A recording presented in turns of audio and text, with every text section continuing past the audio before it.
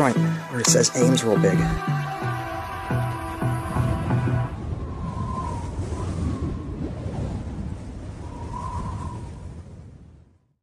Well, everyone, I'm out here in North Fayette, aka Robinson Township, and I wasn't expecting to see this. Quaker Steak and Lube is closed. I came out here to actually check out one of the other restaurants, which I knew was closed and was potential of for a video. But that was that building there that's becoming Texas Roadhouse. So we're getting a Texas Roadhouse out here, which is cool. I like their food. Still not uh, genuine Texas cuisine, but it's the closest thing you can get when you're not in the uh, Lone Star State, so it'll do. But anyway, Quaker Steak and Lube. I had no idea it closed. Uh, from what I'm understanding, it closed in the fall around Halloween. There's Halloween stickers in the doors. And, well, I wasn't planning on doing a video of it, but I guess I am now. Well, there is the joint. I didn't know I'd be doing a video of this place. I love this place. I love Quaker Steak and Lube. Their food's really good. There's one in Columbia, South Carolina that Mary and I went to. One of the first times I ever went down there, and the food was fantastic. Service was not the greatest, but that's just, that's besides the point. The food was great. And yeah, wow, yeah, they really tore that. They really hit it with the hind. Holy smokes.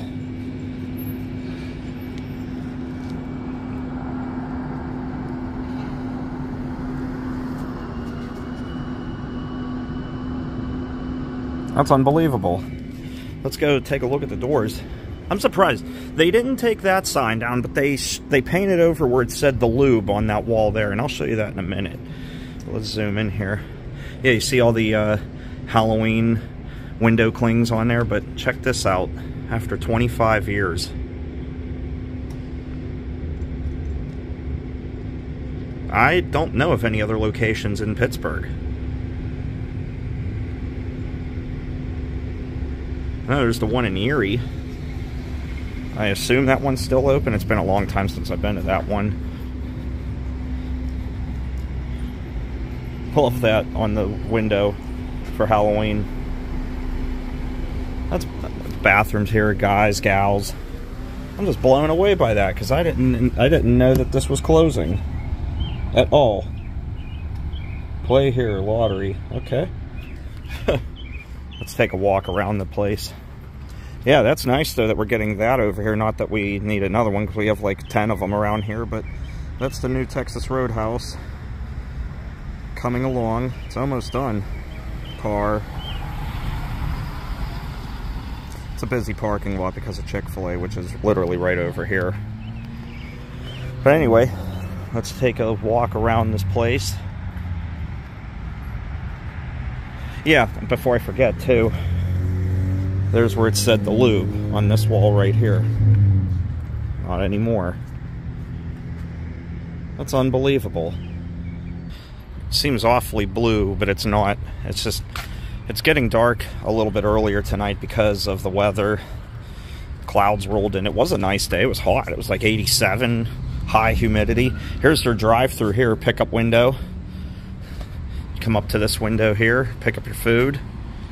Not anymore. Not much you can see going on in there. That is a darn shame. I like Quaker Steak and Lube. I really do.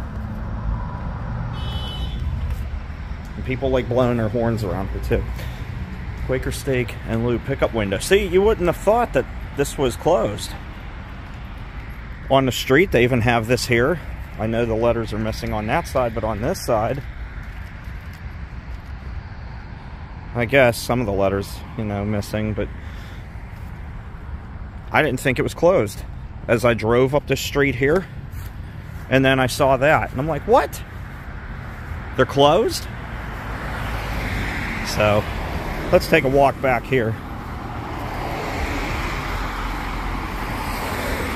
Right along the busy roadway. I guess this was outdoor seating over here. Not much going on in here.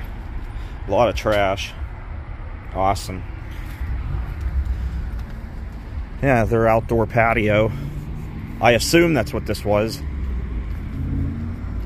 Yeah, they have a heater, lights, a fan. I'm sure that's what that was for. Zoom in. This way you can light it up just a smidge. That garage door really makes it difficult. We'll go over here where we have a better chance. Love that the fan is hard and that thing's seen better days. Oh man, even that with the bird's nest in it, that's awesome. Here's a bar. There's their bar here.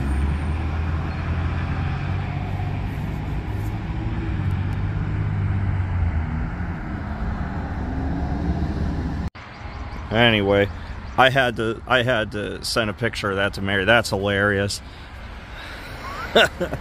Thing got a lot of miles on it. Thing got more miles on it than the bee friend. Anyway, maybe we can see in here without all that light keeping me from being able to see. Yeah, there's a nice little bar here. This reminds me of the bar area at the Columbia location. I love that location. They have a bowling alley in there, an arcade. It's attached to a um, a travel center. There's all kinds of stuff going on in there. A travel uh, plaza, yeah, arcade, bowling alley. And the restaurant was good. It was just our, our service could have been a lot better. But we had a nice dinner, and that's what counts. We had a nice meal, even though it took a while. Um, mainly because uh, they were very unorganized. That's what took a while. It's not that they were busy, because they weren't at all. But you have that sometimes. But I can't. I just can't get over that, man. That that hurts. I love this place. I guess my close, my next best bet to have it is Erie, if it's still uh, open. I think it is. I don't go on Peach Street every time I go up to Erie. I don't go past it every time because it's right near I-90 and I usually don't go down that way all the time. And I guess if I don't go to that one, Columbia it is. Hopefully the service will be better. But anyway, that's a wrap. All right, well that's gonna wrap it up. Oh, look at this, they have parking for handicap and combat wounded right here. That's nice, they even have it painted on the ground. Check that out. Very nice touch, I like it. So, and they have more handicap parking over there, but yeah, that's a bummer. Hopefully something good will go in its place. It's in a prime shopping area for the uh, for the township, so this is the busiest shopping area in Pittsburgh besides Cranberry Township, honestly. You got the airport not too far away. You got the massive Walmart right over there that still sports the 80s facade in the middle, and they just built up onto it and around it. And, well, you see we're getting a Texas Roadhouse out here, so prime area. And the Chick-fil-A is relatively new, too. That only opened up a handful of years ago. So, yeah, prime real estate out here. So, like to see something move in here instead of it just sitting here empty. Because a lot of abandoned places out here don't sit empty for long. I know TGI Fridays is still abandoned out here. But aside from that, it's booming out here. Even the mall. The mall's not doing too bad either. The mall at Robinson. I know it's gone downhill in the last few years and there's a few more vacancies, but I would like to think that it's still hanging on because it's a nice mall. I've always liked that place a lot. So, looking forward to Texas Roadhouse. We'll have to try it out one of these nights when they uh, finally open up, whenever that might be. It looks like it's going to be relatively soon. So, anyway, thanks for watching, everybody. I hope you enjoyed. If you did, consider giving the video a thumbs up. And if you're not a subscriber, you know what to do. On that note, I'm taking off. I am hungry. I want to get something to eat while I'm out here, so. All right. Thanks for watching, everybody. Take care and stay awesome. Bye-bye.